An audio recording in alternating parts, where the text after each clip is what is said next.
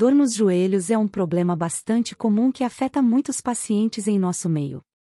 Pode ser decorrente de lesões ligamentares, lesões das cartilagens, lesões dos tendões ou mais frequentemente desgaste articular, a chamada osteoartrite. Sobrepeso ou obesidade costumam sobrecarregar a articulação do joelho, mesmo durante atividades normais do cotidiano. Falta de força na musculatura da coxa, que serve entre outras funções para realizar a estabilização do joelho. Existem alguns esportes que forçam o joelho em demasia, principalmente durante atividades esportivas profissionais. Existe algum tratamento específico para a dor no joelho? Sim. Como existem diversas causas para a dor no joelho, o tratamento sempre deverá individualizado. Para cada tipo de afecção existem particularidades no tratamento.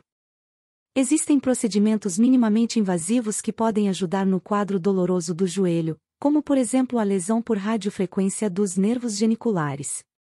Neste procedimento, realizamos a lesão dos nervos responsáveis pela dor no joelho, sem necessidade de cirurgia ou procedimentos de grande porte.